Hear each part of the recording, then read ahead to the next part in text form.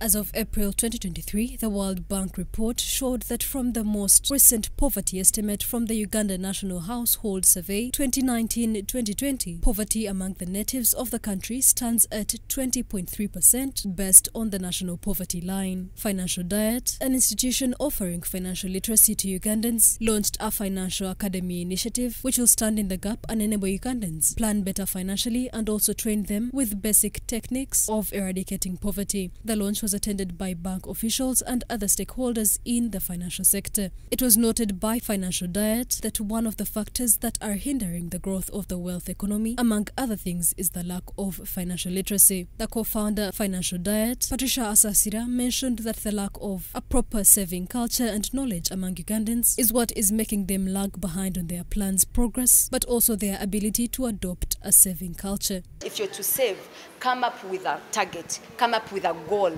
And once you've come up with your goal, you plan for it and you give a timeline.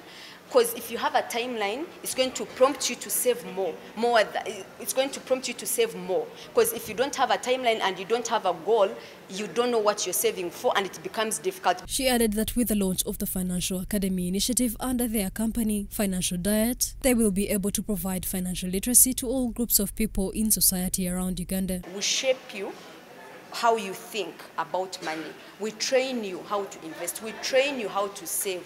We train you on how to make, how to manage your money. We train you on insurance. We train you how to appreciate insurance, tax, how to know about tax, debt management. All those topics are in our academy. So once you sign for that, you have knowledge and your, and your habits are going to change and your status when it comes to finances is going to be different. The Minister of State for Luwero Rwenzori Triangle, Alice Kaboyo, who presided over the launch of the Financial Academy initiative, noted that although government has on several occasions come up with wealth creation initiatives, the biggest challenge is the lack of financial literacy among Ugandans. She welcomed the thought and agenda behind this program.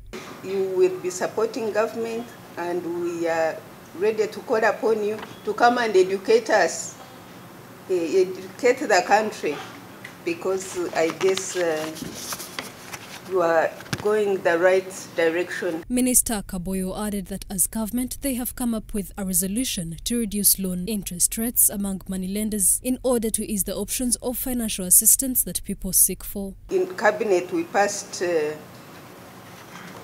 the um, policy of reducing the percentage of the money sharks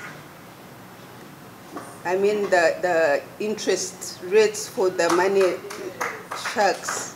Barbara Chobutunji, co-founder Financial Diet, listed some of the benefits that come with being financially literate. Financial literacy is not a luxury, it is a necessity for everyone to do or to survive or to achieve financial freedom because once you have the knowledge about finances, communities are improved, the economy is improved, the country is improved. Financial Diet was created with a passion and a desire to help every individual, irrespective of age, to understand money in the simplest of ways, engage in more money discussions, but most importantly, know when and how to invest their money depending on one's financial goals.